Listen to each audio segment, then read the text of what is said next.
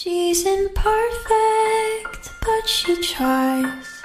She is good, but she lies. She is hard on herself. She is broken and won't ask for help. She is messy, but she's kind. She is lonely most of the time. She's all of this mixed up and baked in a beautiful pie.